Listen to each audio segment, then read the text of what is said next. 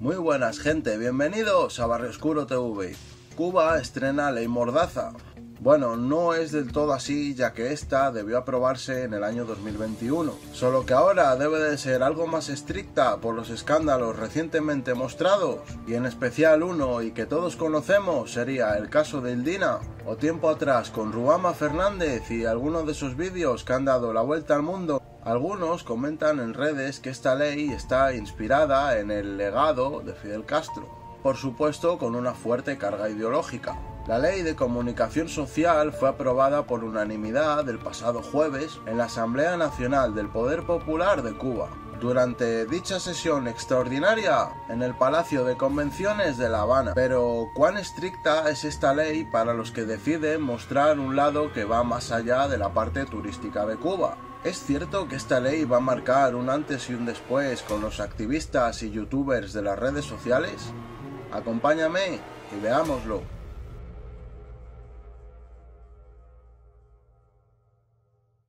El mayor valor radica en el reconocimiento de las potencialidades y beneficios de la comunicación social para el desarrollo del país, declaró el gobernante cubano Miguel Díaz Canel.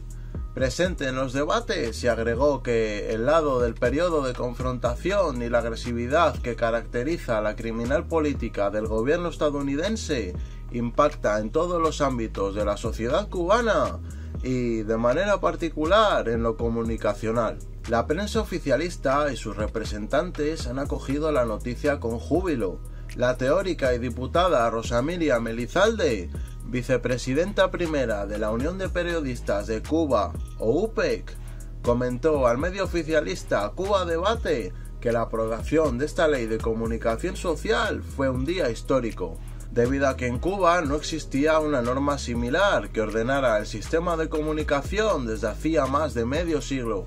Según opiniones de algunos disidentes cubanos extranjeros, el problema de cualquier ley de Cuba, y en especial de esta ley de comunicación, específicamente parte de esa constitución aprobada en 2019, que en el artículo 1 recoge que Cuba es, por definición, un Estado socialista.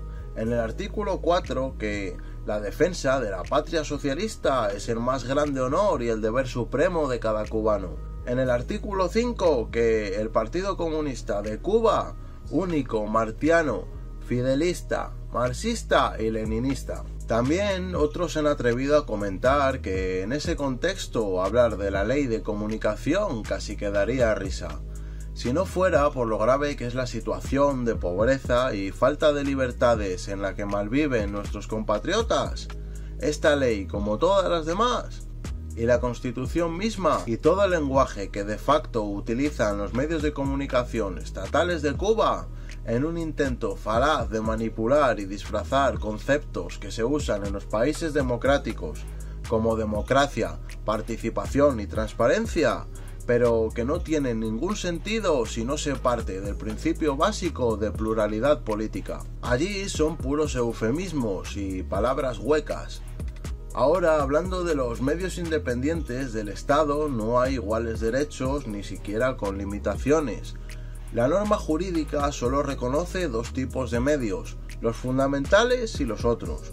Los fundamentales, según el artículo 28, son las organizaciones mediáticas que tienen un carácter estratégico en la construcción del consenso. Cumplen funciones de servicio público y constituyen de mediadores políticos, ideológicos y culturales, como las agencias de noticias, la radio, la televisión y los medios impresos y digitales que son de propiedad socialista de todo el pueblo o de las organizaciones políticas, de masas y sociales, y no pueden ser objeto de otro tipo de propiedad. Según el periodista e investigador cubano José Raúl Gallego, con residencia en México, comentó al diario Martín Noticias que el sistema de medios cubanos, como lo fue lo soviético en su momento, está diseñado a la medida del poder que busca legitimar los medios en Cuba no son autónomos ni se conciben como un contrapeso del poder. Al contrario, se conciben, y así lo dicen explícitamente, como un instrumento de trabajo del poder. Por lo que todo esto tiene pinta de que toda persona particular que decida publicar o mostrar vídeos en redes sociales de cosas no aprobadas por el gobierno, tal vez podría enfrentarse a algo muy serio con esta reforma de la ley del Código Penal cubano. Hasta aquí lo de hoy, gente. Brevemente hemos tocado este artículo de la reforma del Código Penal cubano. Por supuesto, la noticia fue proporcionada por medios de Cuba en el extranjero. Quien quiera leer un poco más al detalle sobre cómo es esta ley, solo tiene que buscar un chin y leerlo detalladamente. Yo no sé cómo se pondrán las cosas en Isla Juana después de esto, pero me da que si vemos algún nuevo youtuber enseñando nuevamente cosas de Cuba, va a ser más como una marioneta, en plan de enseñar lo que digan que enseñe y no lo que quiere. Porque como ustedes saben, Ildina ha marcado un antes y un después en la historia de los youtubers cubanos. ¿Qué es lo que piensan ustedes sobre esta nueva ley? ¿Creen que volverá a haber más youtubers cubanos con el coraje de Ildina? Muchas gracias gente. Si te gustó el vídeo, déjame un like, comenta, comparte, suscríbete. Todos ayudan al crecimiento y el desarrollo del canal. Y recuerda que donde se habla del mundo sin filtros es aquí, en Barrio Oscuro TV. ¡Nos fuimos!